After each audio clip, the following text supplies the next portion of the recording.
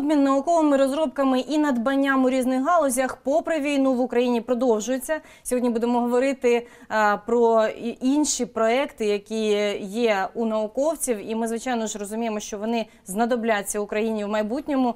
Тож до нашої студії ми запросили е, Олексія е, Лужнікова, доктора технічних наук, професора кафедри відкритих гірничих робіт Національного технічного університету Дніпровська політехніка. Пане Олексію, дуже раді вас бачити в нашій студії. І знаємо, що е, взагалі в Україні зараз дуже багато різних розробок, і попри війну е, науковці намагаються бути корисними і е, справді в майбутньому, щоб використовувалися їхні надбання.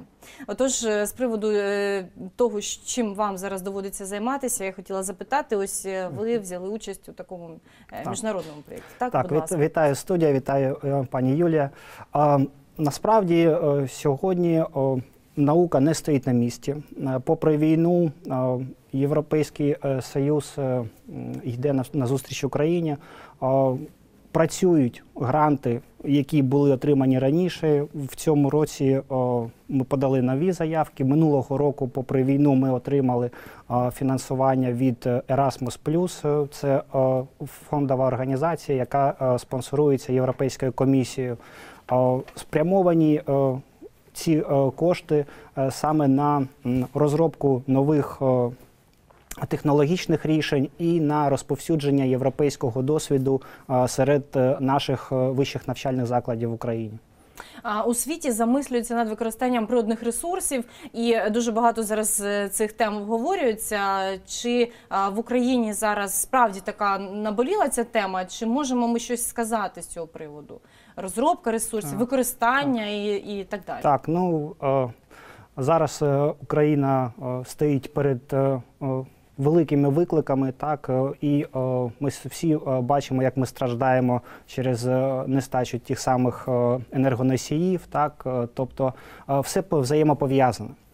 Я безпосередньо сам представляю ту галузь науки, яка займається освоєнням мінеральної сировини, тобто це всіх корисних копалин, ресурсів, тобто то, з чого виготовляється техніка, інструменти і всі фактично засоби відновлювальної енергетики. Так, е, тобто е, ці всі розробки зараз дуже актуальні. Чому? Тому що і суспільство, і в Україні, і в Європі, і в світі, і всьому вони потребують е, саме нових рішень. І для того, щоб ці всі річ, всі всі вимоги задовільнити, необхідно, звичайно, що дуже великі об'єми мінеральної сировини. Багато розробок було з приводу альтернативних е, видів палива, і ми знаємо, що гірничий університет один із перших е, показав і розказав, як це можна використовувати. Але ж якийсь час е, ці проекти були заморожені, і ми з прикрістю розуміли, що можна було би. Так. Але ось саме зараз, коли ми зіштовхнулися так критично з цією темою, ми розуміємо, що на Так, часі, мабуть. Так, так. Е, Так, е, я спробую дуже коротко е, цю тему сформулювати. Чому? Тому що насправді це ціла лекція, як воно все взаємопов'язане. Ну, по- по-перше, мінеральна сировина, тобто та, та, яка є, та, яка в природі, в надрах знаходиться. Чому ну, ресурсоорієнтовані країни, вони менше схильні до впровадження цих нових технологій з відновлювальної енергетики? А по-перше, ці технології коштують багато грошей, так і е, спалювати вугілля, воно в якійсь мері, е, в якої в якихось там е, діапазонах заданих, воно дешевше, так. Але о, світ йде вперед, тобто о, все одно о, фактично ну, вже змодельований вектор, вектор розвитку, і е, вся е, Європа, потім світ і так далі, і е, решта країн е, все одно до е, 50-го року перейдуть на більшу е, свою частину всієї енергетики, вона буде відновлювальна. Будуть електрокари. Чому? Тому що зараз останні 5 років ріст електрокарів складає з виробництва електрокарів складає 400%. Тобто йдуть шалені темпи саме виробництва тих засобів, які будуть працювати вже на зеленій енергетиці, тобто Green Deal. Але щоб забезпечити, е, Ось щоб, в тому ж щоб забезпечити о, саме ці о, високотехнологічні цикли о, сировиною, нам необхідно видобувати корисні копалини. І як в самій Європі кажуть, тобто ми йдемо такі поняття Deal, тобто е, зелена угода. Е, Ми до е, певного моменту будемо видобувати корисні копалини, щоб зробити всі ті інструменти, які нам дозволять повністю або майже в там значну частину замістити відновлювальними джерелами енергії, так тобто наше суспільство. Але щоб зробити ті вітряки, сонячні панелі і решту засобів е, відновлювальних е, енергетичних цих джерел, нам необхідні корисні копалини. Нам потрібен літій, нам потрібен нікель, е, графіт і так далі. Тобто ті ресурси, які є фактично в Україні. Е, Чи буде проблема з видобувництвом і цих корисних копалин? Е, Чи ми можемо найближчим часом це робити? Я розумію, що тут справді е, війна і такі зараз події, що мабуть складно про це говорити, але хоча б чи є якісь напрацювання вже в цьому напрямку? Ну, звичайно, що є напрацювання. Ці родовища вони оцінені, тобто вони виставляються на аукціонах. Знов таки, ми маємо вірити і сподіватись на найкраще, так тому що якщо всі скажуть, що все пропало, так то звичайно, що не буде е, розвитку суспільства. Так, е, ми зараз переживаємо складні часи, але вони колись закінчаться, так і все одно о, постане вибір перед тим, або о, там жити о, технологіями 20-го сторіччя, або вже переходити на технології 21-го сторіччя. І саме Україна в цьому аспекті вона о, є унікальною, тобто вона є певним е, зв'язком між Азією і Європою. Так, тобто тут є корисні копалини, тут є талановиті люди. Тобто тут е, е, все є для того, щоб зробити е, якусь е, суперкраїну. Е, Де саме зосереджені ось ці корисні копалини, про які йдеться? Ну просто хоча б Так. так, географічно е, трошки розкажіть, щоб наші глядачі розуміли. Вони І- розосереджені, тобто вони фактично в будь-якій області України є певне родовище, яке має цінність е, саме для оцих всіх нових технологій, тобто для е, е, е, джерел енергетики, так тобто вони є всюди. Знов таки, чому ці мінерали називаються критичними? Їх залягання е, у нас в надрах, воно в дуже обмежених е, процентах, так, тобто в об'ємах, тобто там тонни можна навіть сказати. Але їх багато і не потрібно. Так? Тобто, щоб працював електрокар, наприклад, потрібно там декілька кілограм того або іншого виду продукту. Кілограми, тобто це не дуже багато. Але якщо перевести на е, загальний світовий попит, там, наприклад, виготовити 40 мільйонів електрокарів, от і помножте 40 мільйонів на ці 2-3 кілограми, і вже буде під 100 під 200 мільйонів. А звичайно, що одна країна з таким навантаженням не справиться. Ну і у неї просто е, таких ресурсів і не буде. Знов таки, е, ці родовища можуть е, знаходитись або в вільному доступі, як, наприклад, в Південній Америці, так тобто, де видобуток коштує, умовно кажучи, декілька центів за кілограм. А в Україні вони знаходяться глибоко, тобто їх потрібно переробляти, їх потрібно інвестувати в збагачувальні фабрики. Тобто і вона буде коштувати в рази дорожче. Але все одно, колись ті дешеві мінерали Закінчаться, закінчаться, так звичайно. і тоді, звичайно, що о, прийде о, наступна черга до тих мінералів, які коштують трошки дорожче, але вони є. Угу. А скажіть, будь ласка, пане Олексію, е, чи Україна могла би себе забезпечити повністю? От ми вже багато разів е, з цим питанням зіштовхувалися. А якщо ось так все зараз розробляти і намагатися працювати на майбутнє, чи Ну, це так, можливо так. було Ну, це, це трошки Це такі, така- так, так. так, це трошки такий о, підхід е, м, категоричний. А, насправді е, зараз е, вся світова економіка вона о, працює по модулям. Так? Тобто щось ми виробляємо в одній країні, щось в іншій, в третій, в четвертій, і як конструктор Лего потім привозимо і все складаємо. Чому? Тому що саме за такої схеми побудови цієї цепочки економічної е, собівартість продукту буде мінімальною. І ми маємо вже виходити з товаром на ринок. Так, ми можемо, наприклад, зробити щось е, з сировини, яка повністю знаходиться у нас, але вартість цього товару вона буде набагато вищою, ніж та, яка є на відкритому ринку. Ну тобто це не має сенсу. Ну так, можна купити, так, і це буде ну, для нас буде звичайно, простіше, то звичайно. Так. Яким чином мотивувати покупця робити покупку Так. чогось дорогого, якщо це коштує в три рази дешевше?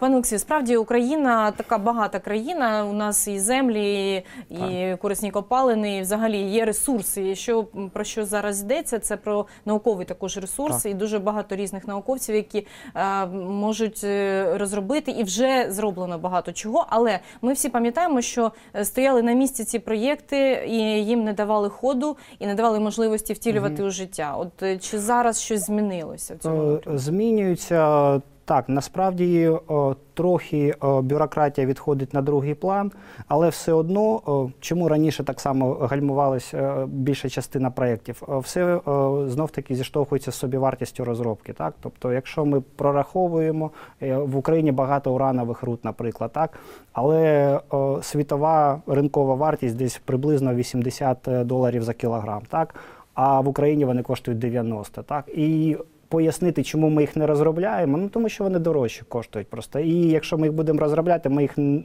ми будемо витрачати більше, ніж будемо отримувати з реалізації цього товару. Угу. І це стосується так е, багато чого. Так, Так, Е, в чому ми можемо зараз бути впевнені, і що ми можемо робити, е, вже не озираючись назад, не дивлячись на те, що буде це дорого, чи якось для нас неможливо. Ну, по-перше, це підготовка саме висококваліфікованих фахівців. Так, тобто з того, з що ми починали, е, людський ресурс це так само ресурс, і це дуже цінний ресурс. Ми можемо взяти приклад азійські країни, ту саму Японію, яка, не маючи корисних копалин, стала одною з найпотужніших економік світу. Правильно? Тобто потрібно розвивати саме цей ресурс. І о, я сам є учасником о, цих грантів і Erasmus, так, і ДАД. Тобто це фактично європейські гранти, які о, спрямовані на те, щоб. О, як воно працює? Ми пишемо заявку, що ми, ми там будемо робити підготовку фахівців за такими-то темами, за такими-то галузями, втілювати європейський досвід наш освітній процес і подаємо цю заявку як на конкурс. Так? Тобто, яка заявка набирає більше балів, тобто вона проходить. От у нас е, пройшла в е, тому році заявка, яка мала назву е, Eco Mining and е, Advanced Mining Technologies, ну тобто е, робота з екологічної гірничої, справи і прогресивні технології розробки.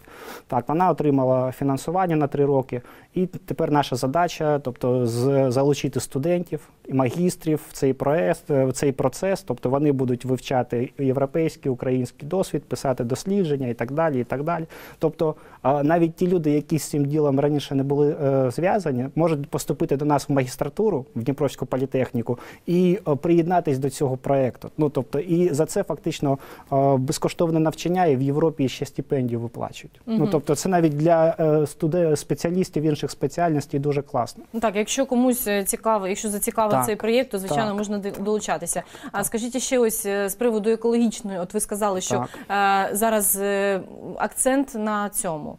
І що саме можна сказати з приводу гірничої такої екологічної Так. справи? Чи зараз все є для того? Тому що ми пам'ятаємо, що застаріла була техніка, що все, що робилося, воно вже Так. модернізації потребувало вже давно. От як зараз? А, ну насправді, якщо взяти середню температуру по палаті в Україні, так залежить від е, підприємства, залежить від власника і від його е, бачення перспективи. Так, якщо о, власник думає, що він буде працювати сьогодні по максимуму, заробить гроші, а завтра хай воно хай все згорить. е, То є такі підприємства, де звичайно все таке не дуже. Але є підприємства, які о, є передовими, тобто з Європи приїжджають для того, щоб на екскурсію подивитися, як правильно організувати це все виробництво. Тобто є такі у нас і е, саме підприємство з видобутку залізної руди, а без, залі, е, без залізної руди, тобто ми про неї забули.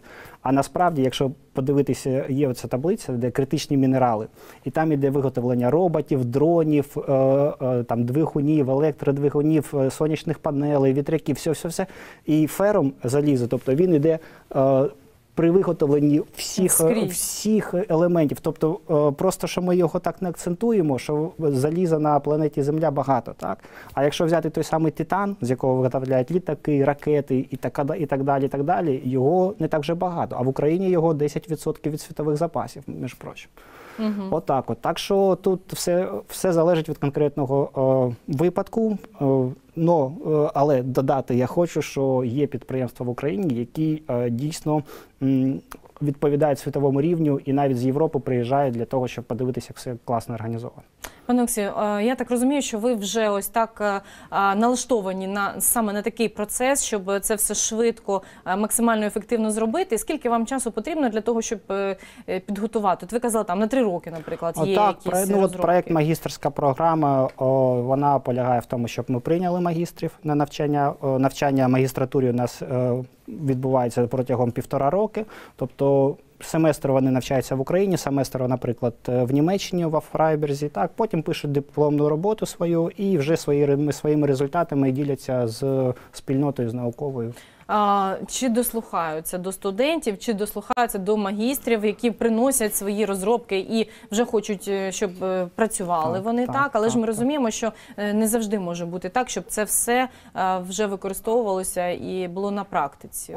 Залежить від ідеї. Якщо ідея класна, то вона може. У нас, до речі, на кафедрі відкритих гірничих робіт більше половини дипломів, тобто магістерських, вони безпосередньо написані на підприємствах. Тобто люди з підприємств, ті, які там вже працюють, вони бачать ці проблеми, вони знають, як що вдосконалити, і вони захищають саме реальні дипломні роботи.